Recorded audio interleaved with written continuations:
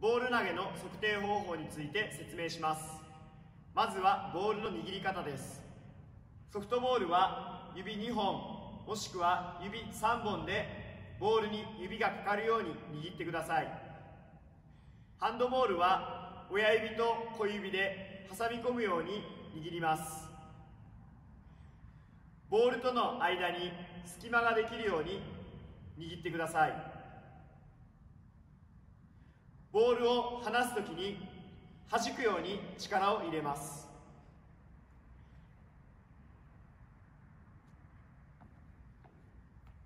半径1メートルの円の中で右利きの人は左足前。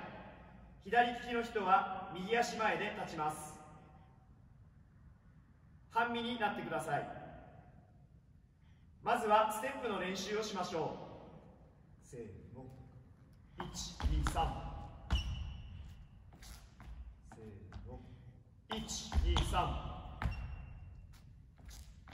ステップに合わせて上半身の回転を使い肘を高くし鞭のように腕を使いましょう。せーの。